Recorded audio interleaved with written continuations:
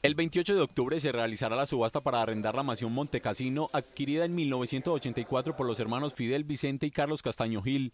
Hace un año, esta, una de las propiedades emblemáticas de las Autodefensas Unidas de Colombia, fue entregado por la Fiscalía del Fondo de Reparación administrado por la Unidad para la Atención y Reparación Integral a las Víctimas.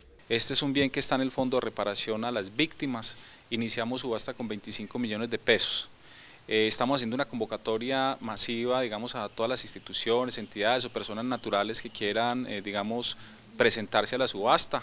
El piso de la subasta para el arriendo será de 25 millones de pesos mensuales para un contrato anual prorrogable. El predio tiene un uso limitado debido a que no se podrán realizar modificaciones hasta cuando se termine el proceso de extinción de dominio.